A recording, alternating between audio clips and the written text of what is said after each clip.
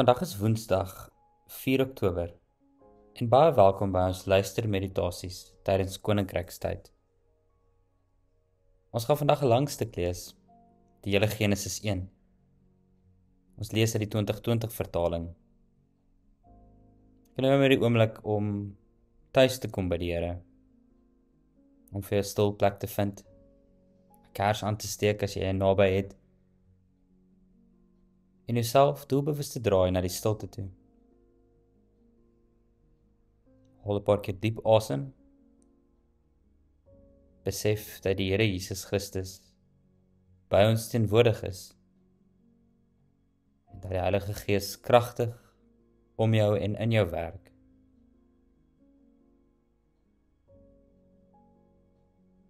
Jy is welkom om jou Bybel oop te maak by Genesis 1 of bloot net met jou oë steeds toe te luister na dit wat ons vandag lees.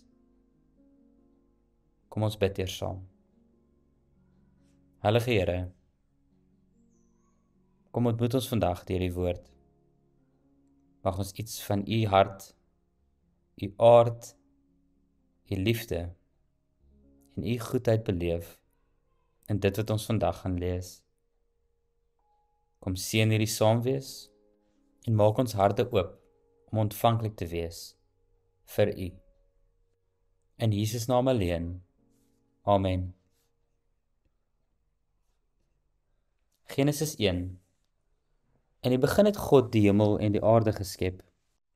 Die aarde was woes en leeg, en donkerte was oor die oerwater. Maar die gees van God het oor die water gesweef, en God het gesê: "Laat daar lig wees," en daar was lig. God het gesien dat die lig goed was. God het die lig en die donker van mekaar geskei. God het die lig dag genoem en die donker het hy nag genoem. Dit was aand en dit was oggend, dag 1. God het gesê: "Laat daar 'n gewelf wees tussen die waters en laat dit skeiding maak tussen water en water." God het die gewelf gemaak en hy het die water wat onder die gewelf was geskei van die water wat bo die gewelf was. Dit het so gebeur. God het die gewelf hemel genoem. En dit was aand en dit was oggend, 'n tweede dag. God het gesê: "Laat die water wat onder die hemel is, op een plek bymekaar kom, sodat die droë grond sigbaar word." En dit het so gebeur. God het die droë grond land genoem en die versamelplek van water het hy see genoem. God het dit gesien en dit was goed. God het gesê: "Die land moet groen plante laat uitsprei. Gewasse wat saad gee, bome wat op die land vrugte dra, vrugte volgens elkeen se aard, vrugte waarin hulle saad is." Dit het so gebeur. Die land het toe groen plante voortgebring, gewasse wat saad gee volgens elkeen se aard en bome wat vrugte dra waarin hulle saad is volgens elkeen se aard. God het gesien dat dit goed is. Net was aand en dit was oggend, 'n derde dag. God het gesê laat daar ligte wees aan die hemelgewelf om skeiding te maak tussen dag en nag. Hulle moet daar wees vir tekens en vir vaste tye en vir dae en jare. Hulle moet daar wees as ligte aan die hemelgewelf om lig te gee op die aarde dit het so gebeur. God het die twee groot ligte gemaak. Die groot lig om te heers oor die dag en die klein lig om te heers oor die nag en ook die sterre. God het hulle aan die hemelgewelf geplaas om lig te gee op die aarde en om te heers oor die dag en die nag en om skeiding te maak tussen die lig en die donker. God het gesien dat dit goed is. En dit was aand en dit was oggend, 'n vierde dag. God het gesê Laat die water wemel met lewende wesens en laat voëls oor die aarde vlieg langs die hemelgewelf. God het volgens hulle aard die groot see diere geskep en al die lewende wesens wat rond beweeg waarvan die water wemel en alle vleiende voëls volgens elkeen se aard. God het gesien dat dit goed is. God het hulle geseën deur te sê: "Wees vrugbaar, word meer en vul die water in die see en laat die voëls meer word op die land." En dit was aand en dit was oggend, die 5de dag. God het gesê: "Laat die land lewende wesens voortbring volgens elkeen se aard, makdiere, kruipende diere en wilde diere van die land volgens elkeen se aard. Dit het so gebeur. God het die wilde diere van die aarde gemaak volgens elkeen se aard en die makdiere volgens elkeen se aard en al die diere wat op die grond kruip volgens elkeen se aard. God het gesien dat dit goed is. God het gesê: "Laat ons mense maak na ons beeld as ons afbeelding sodat hulle kan heers oor die visse van die see, die voëls van die hemel en die diere oor die hele aarde en oor al die kruipende diere wat op die aarde rond beweeg. God het die mens geskep na sy beeld. Na die beeld van God het hy hom geskep. Manlik en vroulik het hy hulle geskep. God het hulle geseën.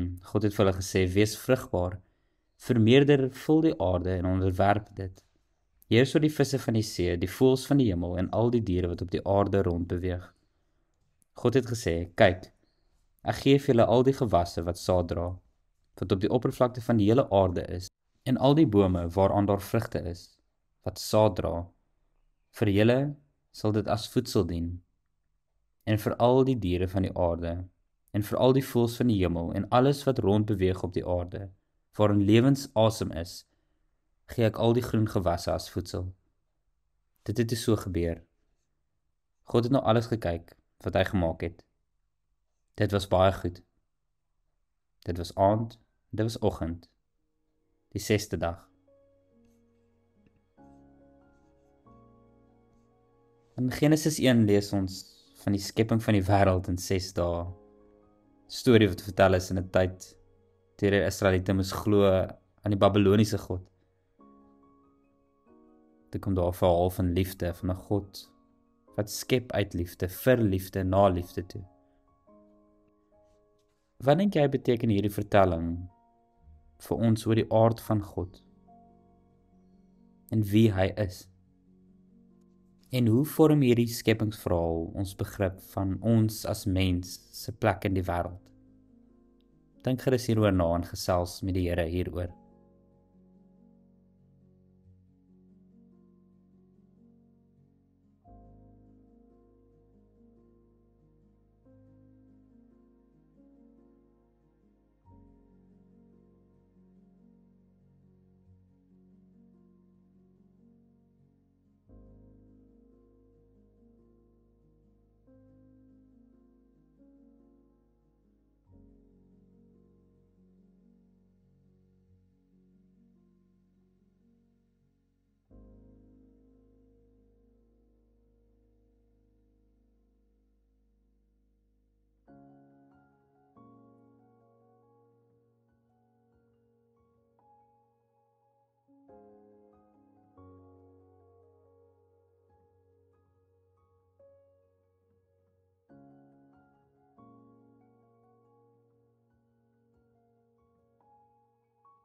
Die teks vandag beklemtoon dat God alles wat hy geskep het as goed beskou.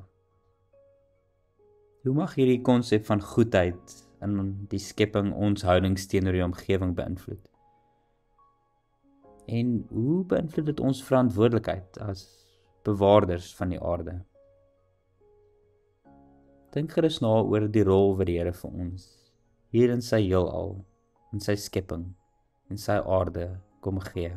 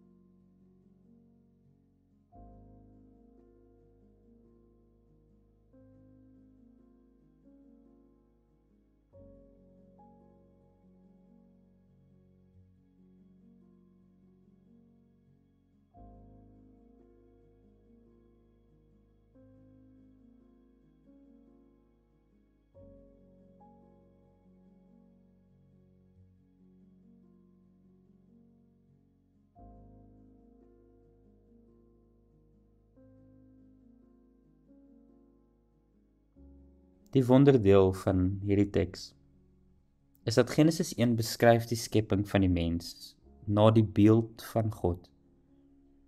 Imago Dei. Ons is geskape in die beeld van God. Watter betekenis vind jy in hierdie idee om na God se beeld geskape te wees?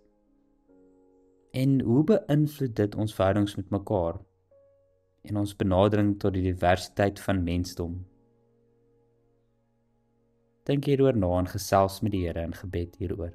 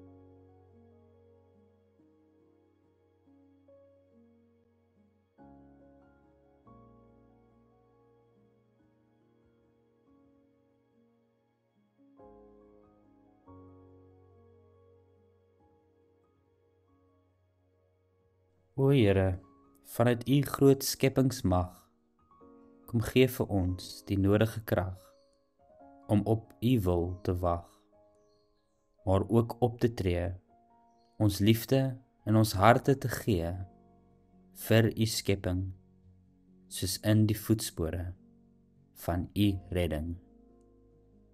Amen.